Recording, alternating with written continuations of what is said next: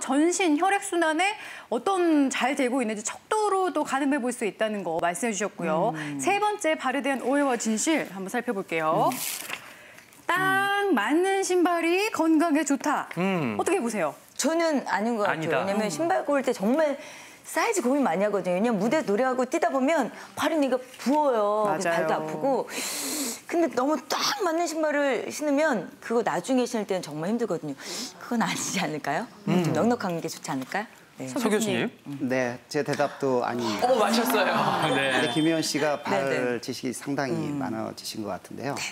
어, 발이 딱 맞는다는 말의 정의를 이제 어떻게 하느냐는 조금 애매할 소지는 있습니다. 네. 그러나 이제 보통 우리 발 전문가들이 권하는 어, 좋은 신발은 실제 발의 크기보다 한 1, 2cm 정도 큰 신발을 권합니다. 그 이유는 보통 발이 시간대에 따라서 오전이나 오후에 따라서도 붓고 안 붓고에 따라 사이즈가 변화가 오고요.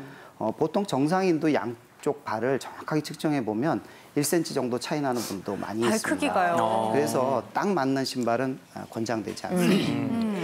그러니까 왜 그 신발 사러 갈 때는 저녁에 가서 사라는 맞아요. 말이 괜한 맞습니다. 말이 아니네요. 이제 부을 수도 있으니까 너무 딱 맞는 거는 피하셔야 될 것 같고요.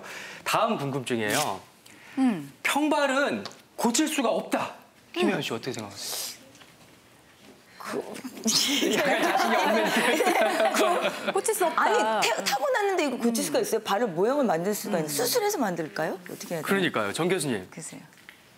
네. 아닙니다. 평발은 고칠 수 있습니다. X네요. 아, 네. 평발은 대개 그 소화성 평발과 성인의 평발로도 구분하고 또 유연한 평발, 유연성 평발과 관절이 굳어 있는 강직성 평발로도 어, 구분할 수 있습니다. 대개는 그 소아에서 10살에서 12살 사이까지 해서 평발에 어, 아치가 많이 저, 좋아져서 회복이 되는 경우 많지만 그때까지도 그 평발의 변형이 심하고 또 피곤함이나 통증이 호소될 경우에는 예, 수술적 치료로 많이 좋아질 수 있습니다. 성인의 평발에서도 그 변형이 심하고 또 피곤하고 이런 그 통증이 있을 때는 그 일단 보조기 착용을 권장하지만은 그럼에도 불구하고 증상이 심할 경우에는 수술적 치료로 좋아질 수 있습니다. 네. 평발이 타고나는 건 줄만 알았는데 수술이나 뭐 다른 방법으로도 고칠 수 있다는 점 말씀해 주셨고요. 그러네요. 마지막 발에 대한 오해와 진실 한번 살펴보도록 할게요. 자, 뭘까? 발 모양이 변하면 온 몸이 아프다. 네. 참나 오늘 좀 맞을 것 같아요. 맞을 것 네. 같기도 한데 사실은 뭐 한두 군데 다리랑 머리가 아프겠지 온몸이 다 아플까요? 글쎄 이렇게 해야 되나? 자신이 없는데. 네, 일단 서 교수님. 네, 제 대, 대답도 역시 이게 좀 애매하고 아, 분가요?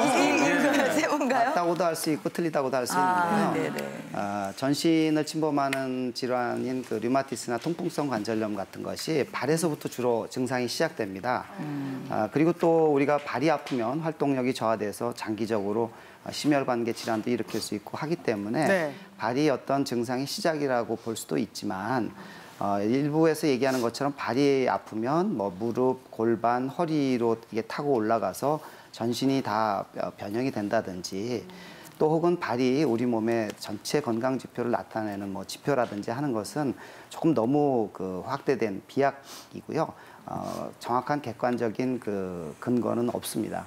다만 그발 질환이 나타났을 때 전신 건강에 대해서 유념하라는 의미 정도로 네. 받아들이시면 될 것 같습니다.